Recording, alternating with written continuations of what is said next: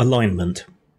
A typical creature in the game world has an alignment which broadly describes its moral and personal attitudes.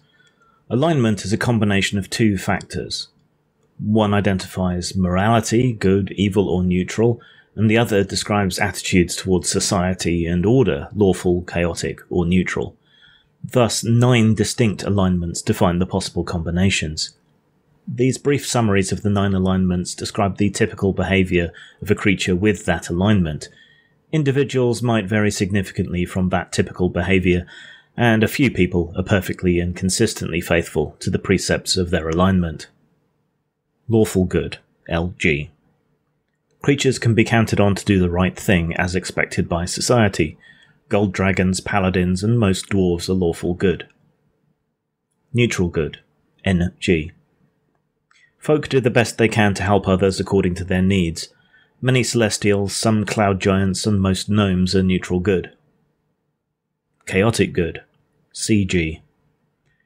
Creatures act as their conscience directs, with little regard for what others expect.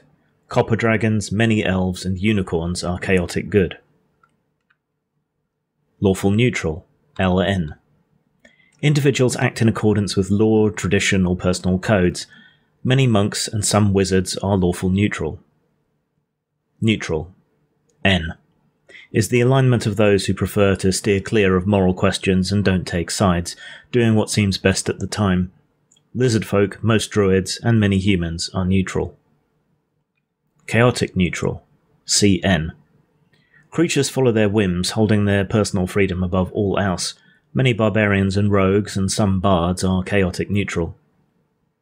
Lawful Evil, LE. Creatures methodically take what they want within the limits of a code or tradition, loyalty or order. Devils, blue dragons, and hobgoblins are lawful evil. Neutral evil, NE, is the alignment of those who do whatever they can get away with without compassion or qualms. Many drow, some cloud giants, and goblins are neutral evil. Chaotic evil, CE, Creatures act with arbitrary violence, spurred by their greed, hatred, or bloodlust. Demons, red dragons, and orcs are chaotic evil. Alignment in the multiverse.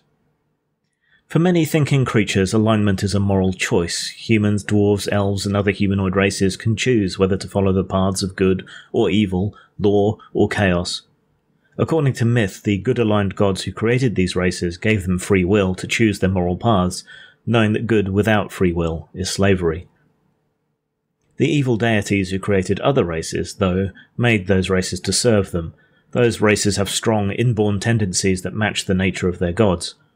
Most orcs share the violent, savage nature of the orc gods and are thus inclined towards evil. Even if an orc chooses a good alignment, it struggles against its innate tendencies for its entire life. Even half orcs feel the lingering pull of the orc god's influence.